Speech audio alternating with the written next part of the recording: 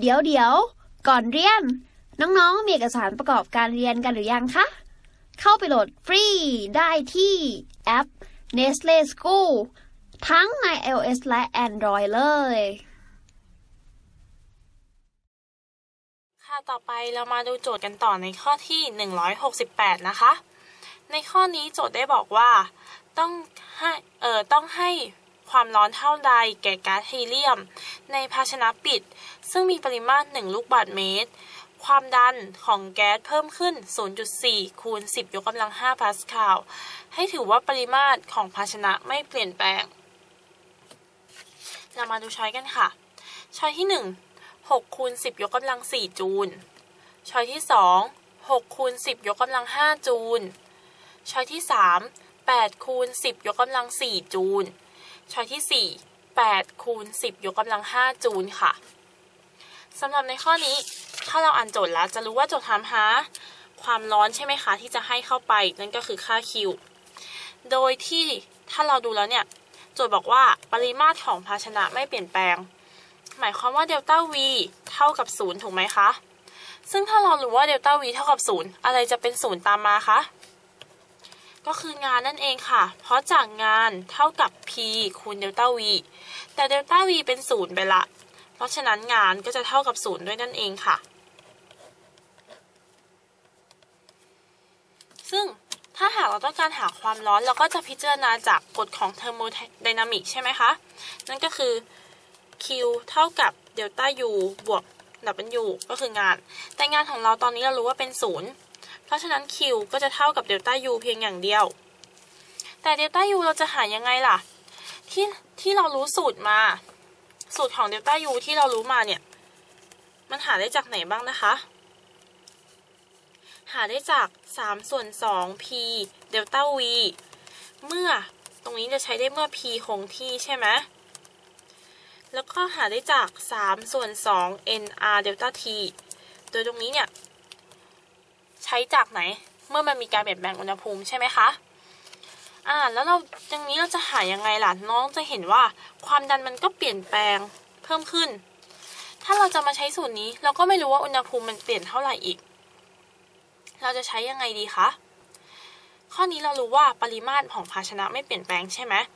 น้องๆเราลองลองย้อนกลับมาดูตรงเดลต้า U ก่อน ว่าเดลต้า U เนี่ยจริงๆแล้วมันหายังไง เดลต้า U จริง ๆ แล้วมันหาจาก U 2ลบ U 1ถูกไหม ซึ่ง U เนี่ยมันเท่ากับ 3 ส่วน 2 PV ถูกไหมคะจำได้ไหม ในเรื่องแรก ๆ เลย เรื่องพลังงานภายใน เรารู้ว่าพลังงานภายในเราต้องหาจาก 3 ส่วน 2 คูณกับ PV ตรงนี้ U เท่ากับ 3 ส่วน 2 คูณกับ PV เพราะฉะนั้นถ้าหากว่าเป็น U 2ก็ต้องเป็น P 2 V 2 U 1ก็เป็น3ส่วน2 P 1 V 1นั่นเอง ถูกไหมคะ เพราะฉะนั้นถ้าเราเจอแบบนี้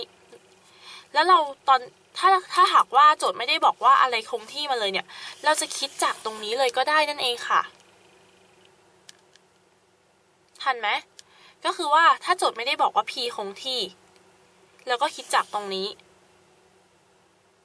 เพราะว่าจาก อย่างถ้าบอกว่า p คงที่เนี่ย มันก็เหมือนกับว่าเป็น p ค่าเดียวกัน p ก็แค่ดึง3ส่วน2 p ออกมาเป็นตัวร่วมแล้วก็จะได้เดลต้า v มาถูกไหมมันก็จะได้เป็นสูตรนี้นั่นเอง แต่ถ้าไม่ได้บอก p คงที่ เราก็ใช้จากตรงนี้ได้เลย ซึ่งลองคิดต่อ ถ้าหากพี่บอกว่าปริมาตรคงที่ล่ะ ถ้าหากบอกว่าปริมาตรคงที่ เราจะได้เป็นยังไงคะ จะได้ว่า v ตรงนี้ มันเท่ากันใช่ไหมคะ พี่ก็ดึง 3 ส่วน 2 v ออกมาได้ แล้วก็เป็นเดลต้า p แทนนั่นเอง ซึ่งตรงนี้ก็คือจะใช้เมื่อ v คงที่ เห็นไหมคะ จริงๆแล้วเราไม่ได้มีสูตรตายตัวที่ฟิกตายตัวว่าเดลต้า u เราต้องหาจาก 2 สูตรนี้เท่านั้น ไม่จำเป็นค่ะ พี่แนะนำว่าถ้าเรา คือพี่ไม่แนะนำให้เราจำสูตรแบบเป๊ะๆไว้ว่ามีแค่ 2 สูตร พี่อยากให้เรารู้มาจากความเข้าใจว่าเดลต้า u หามาจาก u 2ลบ u 1ซึ่ง u 2 u 1เนี่ยหรือแต่ละ u เนี่ยมันหาได้จากไหนเอ่ย หาได้จาก3ส่วน2 pv หรือ3ส่วน2 nrt ก็ได้ แล้วก็แค่นำมาลบกัน จากนั้นเราก็แค่ดึงตัวร่วมที่มันคงที่ออกมาแค่นั้นเอง เราเลยได้เป็นเงื่อนไขของสูตรต่างๆมานะคะ ทันนะ โอเค ทีนี้ตอนนี้น้องๆก็น่าจะเข้าใจกันละ ดังนั้นเดี๋ยวพี่ขอเขียนเพิ่มให้นิดหนึ่งว่าเดลต้า u อาจจะเท่ากับ 3 ส่วน 2 v คูณกับเดลต้า p ก็ได้ ถ้าหากว่า v คงที่นะคะ ซึ่ง ทั้งหมดนี้ 2 สูตรนี้จริงๆแล้วมันมาจากการที่ u 2ลบ u 1เนี่ย มันเท่ากับเท่าไหร่คะ 3 ส่วน 2 p 2 v 2ลบ 3 ส่วน 2 p 1 v 1นั่นเอง 2 สูตรนี้มาจากตรงนี้นะคะ ซึ่งถ้าอะไรคงที่เราก็แค่ค่อยดึงมันออกมา โอเคนะ น้องๆ พอเข้าใจการหาเดลต้า u แล้วเนาะ โอเค แล้วเดี๋ยวพี่ทวนให้อีกนิดนึงว่ากฎเทอร์โมไดนามิกข้อที่หนึ่งคือ q เท่ากับเดลต้า u บวก w ใช่ไหมคือตรงนี้ เดี๋ยวพี่จะโยงเป็นสรุปสูตรสั้น ๆ ให้นะคะ โดยเดลต้า u เราก็หาได้จากตรงนี้นั่นเอง ตรงช่องนี้ทั้งหมดนี้นะคะ ส่วน w หาได้จาก หาได้จาก p คูณเดลต้า v ซึ่งถ้า p ไม่คงที่ เราก็จะใช้ p เฉลี่ย โอเคนะ แล้วก็ w เนี่ย จะมีค่าที่เป็นบวกกับค่าที่เป็นลบใช่ไหมคะ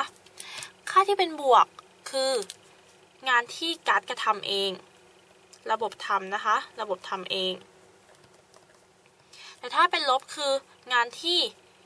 ระบบได้รับมา ก็คือเหมือนกับว่าเราต้องไปทำให้ระบบนั่นเอง เราก็เลยเหมือนกับ มองเป็นลบว่า เอ๊ะเราก็เลยต้องเสียงานไปประมาณนั้น ทันนะ ส่วนสำหรับ Q Q ถ้าหากว่าเป็นความร้อนที่ระบบได้รับ ก็ต้องเป็นบวก แต่ถ้าระบบเสียเสียความร้อนนะคะ ก็จะเป็นลบนั่นเอง โอเค ตอนนี้เราได้สรุปสูตรทั้งหมดนี้แล้ว น้องจำเป็น เป็นแผนภาพอย่างนี้ก็ได้ หรือน้องลองเขียนใหม่เองดูนะคะ ซึ่ง delta u เราไม่ต้องจำฟิกตายตัวแบบนี้หรอก เรารู้ที่มาแล้วค่อยดึงตัวดึงตัวร่วมเอาก็ได้ หรือจากตรงนี้เนี่ยเราก็รู้ที่มาว่ามันมาจาก3ส่วน2 n 1 r t 1ลบด้วยขอแผ่3ส่วน2 n 2 r t 2ลบด้วย3ส่วน2 n 1 r t 1แล้วบังเอิญ n มันคงที่อย่างนี้แล้วก็แค่ดึงตัวร่วมออกมา ตรงนี้ก็จะได้เป็น delta t แบบนี้นั่นเอง โอเคนะเรา ดูเป็นแผนภาพอย่างนี้ไปก็ได้นะคะ ทีนี้เราย้อนกลับมาดูข้อนี้ค่ะ หลังจากทวนความรู้กันไปแล้ว เราย้อนกลับมาดูข้อนี้ อย่างในข้อนี้บอกว่าปริมาตรคงที่ใช่ไหมถ้าบอกว่าปริมาตรคงที่ เรานึกถึงตรงนี้ก่อนเดลต้า u คือ u 2ลบ u 1นั่นก็คือ 3 ส่วน 2 p 2 v 2ลบ 3 ส่วน 2 p 1 v 1จากนั้นจะได้ว่า p มัน p มันไม่คงที่ก็คือความดันมันเพิ่มขึ้น แต่ปริมาตรคงที่เราก็แค่ดึงปริมาตรออกมา จะได้เป็น3ส่วน2 v คูณเดลต้า p นั่นเอง เห็นไหมคะว่าเหมือนกับตรงที่พี่สรุปให้เลยเนาะ v มันคงที่ จากนั้นน้องก็แทนค่าค่ะ จะได้เป็น3ส่วน2คูณกับ v v ก็คือ 1 ลูกบาศก์เมตรเดลต้า p เดลต้า p คือเท่าไหร่คะ เพิ่มขึ้นใช่ไหมคะ ก็เป็นค่าบวกอยู่ละ เพิ่มขึ้นก็เป็น 0.4 คูณ 10 ยกกำลัง 5 ปาสคาลค่ะ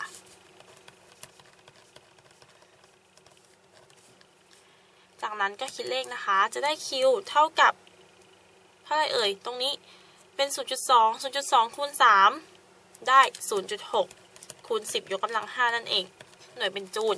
หรือมันก็คือ 6 คูณ 10 ยกกำลัง 4 จูลนั่นเองค่ะ ซึ่งพบว่า 6คูณ10 ยกกำลัง 4 จูล ตรงกับช้อยที่ 1 ในข้อนี้เราจึงตอบข้อที่ 1 นั่นเองค่ะ เรามาดูสรุปกันนิดนึงนะ ตรงนี้โจทย์ถามหาว่าต้องให้ความร้อนเท่าไหร่ โดยปริมาตรคงที่ ซึ่งถ้าหากปริมาตรคงที่ แน่นอนว่างานต้องเป็นศูนย์ค่ะ เพราะงานหาได้จาก P คูณเดลต้า V ถัดมา ในข้อนี้โจทย์ได้ให้มาว่าปริมาตรคงที่ แต่ความดันเปลี่ยนแปลง ซึ่งจากที่พี่เคยสอนในตอนแรก ๆ เนี่ย พี่เชื่อว่าน้องหลายคนอาจจะจำไปแล้วใช่ไหมคะจำไปแล้วว่าเดลต้า U หาได้จาก 2 อันนี้เท่านั้น แต่จริงๆแล้วเดลต้า U เนี่ย มันมาจาก U 2ลบ U 1ก็คือตรงนี้ ซึ่งกรณีนี้ถ้า P คงที่พี่แค่ดึงตัวร่วม แต่ถ้าเกิดว่า V คงที่พี่ก็แค่ดึงตัวร่วม V ออกมา มันมันก็จะเหมือนกับว่าเราได้มาเพิ่มอีกสูตรหนึ่ง ประมาณนั้นนะคะ ซึ่งจริงๆแล้วหลักที่พี่อยากให้จำมากกว่าของเดลต้า U ในการหาเดลต้า U เนี่ย คือเราต้องรู้ว่า U หายังไง ซึ่ง U ก็หาจากสูตรของความดันภายในขอแพเอ่อของพลังงานภายใน ใช่ไหมคะ U มันก็หาได้จากสูตรของพลังงานภายใน นี่ก็ก็คือสูตรตรงนี้นะคะ อาจจะเป็นสูตรนี้สูตรนี้หรือสูตรนี้ก็ได้ แล้วเราก็แค่ค่อยนำมันมาลบกันนั่นเอง แต่ตรงนี้เนี่ยมันสูตรเหล่านี้เนี่ยมันเกิดจากการที่พี่จัดรูปมาให้น้องเห็นได้ชัดนั่นเอง เพราะฉะนั้นอยากให้น้องมองเป็นแผนภาพแบบนี้ใหม่นะคะ โอเค แล้วเราก็กลับมาดูข้อนี้กันค่ะ ข้อนี้โจทย์ถามหาพลังงานความร้อนใช่ไหม แต่เรารู้มาแล้วว่า Q จะเท่ากับเดลต้า U เพียงอย่างเดียว และ V คงที่ แล้วก็ดึงออกมา จึงได้ลักษณะนี้ จากนั้นก็แทนค่าค่ะ คิดเลขออกมาได้เป็น6คูณ10 ยกกำลัง 4 จูลนั่นเอง ซึ่งตรงกับช้อยที่ 1 ในข้อนี้จึงตอบข้อที่ 1 นั่นเองค่ะ เรียนจบแล้ว อย่าลืม เข้าไปฝึกทำข้อสอบแบบจับเวลา ในแอป Nestle School กันด้วยนะจ๊ะ ถ้าน้องๆมีคำถามสงสัย ไม่เข้าใจตรงไหน ถามว่าในแอปได้เลย แล้วพี่ๆจะรีบเข้าไปตอบให้นะคะ วิธีการสะสมความรู้ 1. พักผ่อนให้เพียงพอ 2. เตรียมสมุดจดบันทึก นี่เอาสมุดมาไหนอะสมุดมีอยู่นี่เจอแล้วเจอแล้ว 3. ตั้งเวลาดูวิดีโอความรู้อย่างสม่ำเสมอ กี่โมงนี่สักสิบโมงถึงเที่ยงเลยนะป้าอืมอืมกำลังดีเลยสองชั่วโมง 4. ผ่อนคลาย กินกินกินกินกันดีกว่า อร่อย 5. ชวนเพื่อนมาโหลดแอป Nestle School อืมแอปนี้โหลดยัง น่าใช้มากเลย